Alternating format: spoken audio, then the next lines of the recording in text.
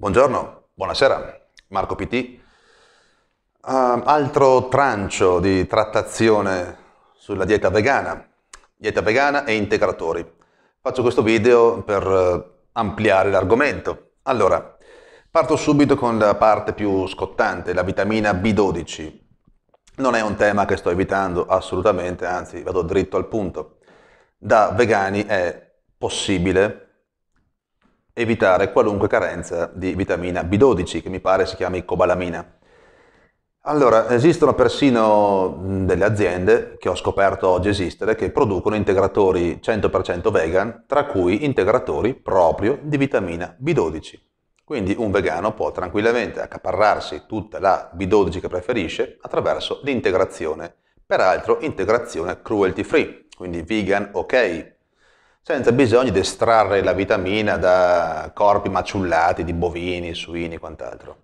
Quindi sì, da vegani si può prendere la cobalamina, la vitamina B12. Mi pare che si chiami cobalamina, spero di aver capito bene. Perché poi mh, quando ci si documenta sulle vitamine del gruppo B ci sono diversi esponenti di categoria, quindi non vorrei aver fatto uno strafalcione.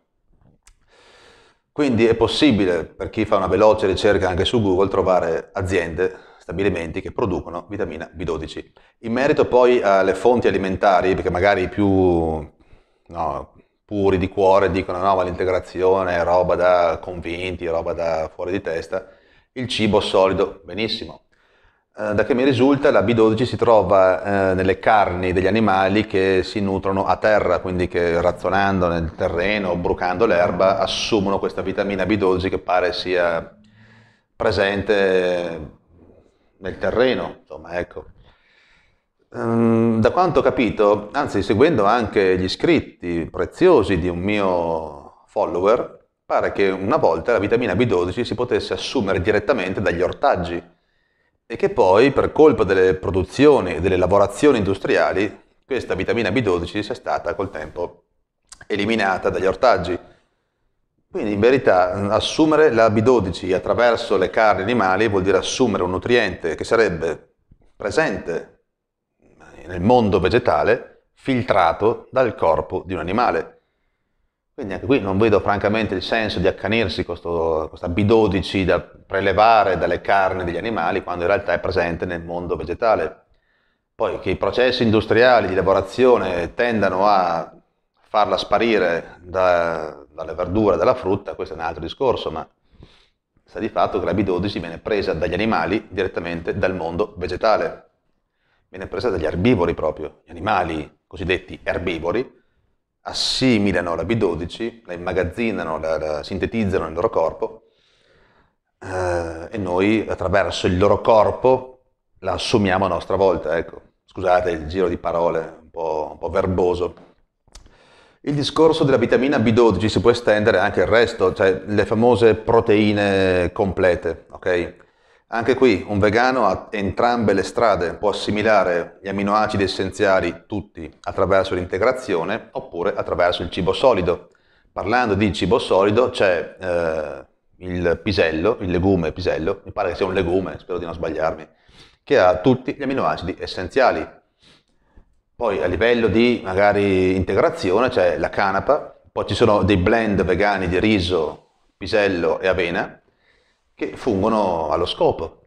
Non, vedo il motivo di star lì a ricombinare i cereali con i legumi sperando di assemblare la catena aminocidica per formare la proteina nobile. Cioè, io sono vegano da oltre sette anni, non mi sono mai neanche preso il disturbo di documentarmi sulle ricombinazioni aminocidiche del mondo vegetale e non intendo farlo neanche in futuro.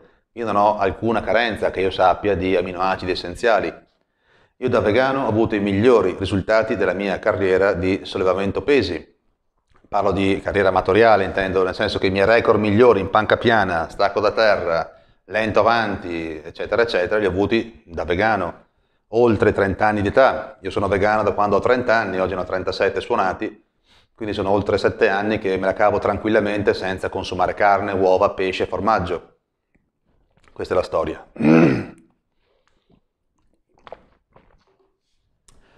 Quindi integrazione e dieta vegana, direi che è un connubio molto felice. Un'altra cosa, i vegani, non mangiando carne e pesce, hanno un introito di creatina esogena leggermente inferiore. Quindi i vegani, compreso me stesso, quando assumono creatina hanno un boost di prestazione molto elevato, perché appunto è un nutriente che tende a scarseggiare, quando viene introdotto con l'integrazione si fa sentire. Io ho avuto apprezzabili risultati dall'integrazione di creatina, poi invece un mangiatore seriale di hamburger integra con la creatina non avrà questi grandi benefici, immagino.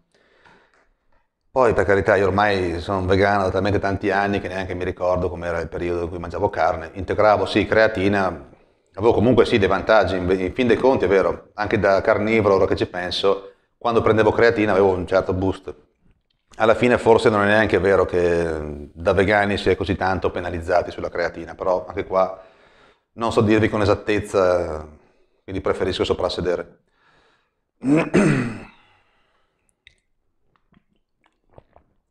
Per chiudere questo video, sì, da vegani si può avere tutta la B12 del mondo, da vegani si può avere proteine con lo spettro aminoacidico totale, da vegani ci si può allenare duramente con i pesi e avere risultati apprezzabili. Come torno a dire, io sono più forte oggi da vegano che da ragazzo quando ero carnivoro. Questo è un po' il sunto del mio video. Volendo spaziare poi su altri argomenti, volendo proprio andare nel vivo delle questioni più scabrose, più pruriginose, io devo ammettere che ebbi sostanzialmente un problema quando passai vegan. Uh, assieme a molti vantaggi, tra cui una pelle più bianca, brufoli spariti mh, mm, e quant'altro, digestione migliore, eccetera, eccetera, ebbi sostanzialmente uno svantaggio che non mi pesò affatto perché, vabbè. Comunque ebbi un... Um, un leggero calo della libido, o libido che dir si voglia. Quindi mm, io passai da carnivoro a vegano senza lo step intermedio del vegetariano. Quindi senza lo step intermedio vegetariano ebbi un po' uno scossone a livello metabolico, quindi ricordo che mm, per dieci giorni circa ebbi un calo della libido. Poi non è che fosse un periodo di attività sessuale frenetica, devo dire, non che oggi sì, però Uh, lì per lì non ci feci troppo caso, aspettai, mi disse se va avanti così torno a mangiare uova, carne, eccetera. Si vede che non posso fare a meno di cibi animali. Invece dopo 10 giorni, circa 12 forse, tutto ritornò a pressione. Il che mi ha fatto pensare una cosa, magari sbaglio, ma io penso che tutto quel, quel grasso animale, quel colesterolo animale che veniva da uova, carne pesce abbia aiutato le mie ghiandole a sintetizzare più testosterone eh, quando io gli tolsi questo supporto, le mie ghiandole furono costrette a produrselo da sole, quell'eccesso di, di, di testosterone insomma, che veniva da fuori. Questo mi è durato qualche giorno, qualche tempo, un paio di settimane al massimo. Poi eh, le mie ghiandole hanno cominciato, per conto loro, a colmare questo gap e come ho già detto tutto è tornato a pressione. Questo è l'unico episodio che proprio, per essere proprio onesti, devo raccontarvi. Questa è la storia. Domando scusa se tiro in ballo vicende personali, così magari eh, insolite, però ci tenevo a essere chiaro perché insomma io sono vegano per etica, volevo anche fare un resoconto che fosse onesto, senza ingannare nessuno.